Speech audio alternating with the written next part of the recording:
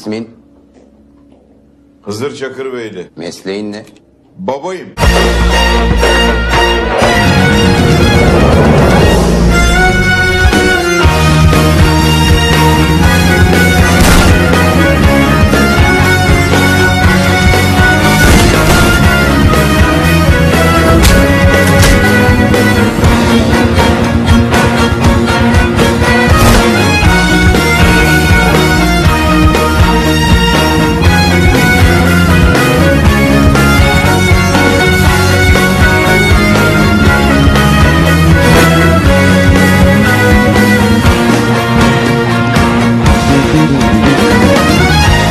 Sene 341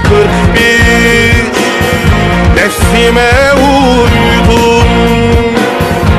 Sebep oldu şeytan Bir cana kıydın